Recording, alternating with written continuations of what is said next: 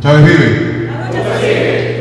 Bueno, tremenda tarde revolucionaria, hermosa, de muy buena vibra, muy positiva, de mucha emoción.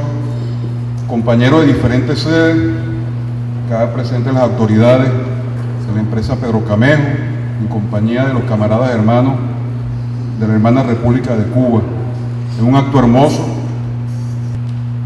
de reconocer el trabajo arduo, solidario, de entrega de compañeros trabajadores en esta cosecha norte-verano, cosecha de arroz, y que tiene un significado muy especial, camarada Ricardo, camarada Laura, que es en plena guerra económica, que esta cosecha se desarrolló con éxito, ordenada, coordinada, y donde las quejas de muchos actores, de muchos productores, fueron mínimas, muy mínimas, en el marco de lo normal, gracias a Dios.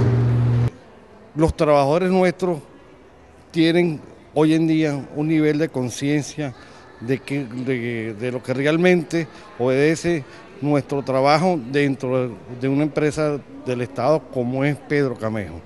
Una empresa que se atrinchera en los momentos difíciles para avanzar en función de, lo que es la soberanía y seguridad agroalimentaria. Nuestros trabajadores, como un solo, logramos establecer un récord de cosecha en todo, lo, en todo lo histórico de la misma sede.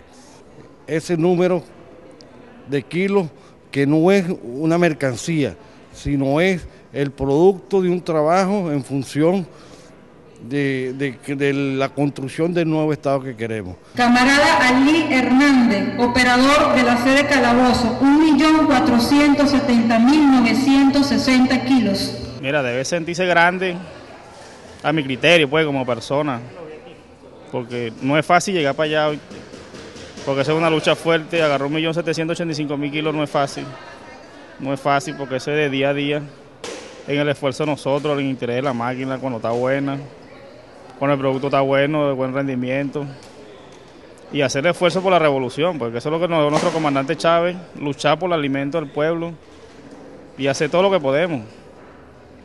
Luchar y luchar y seguir luchando para poder vencer.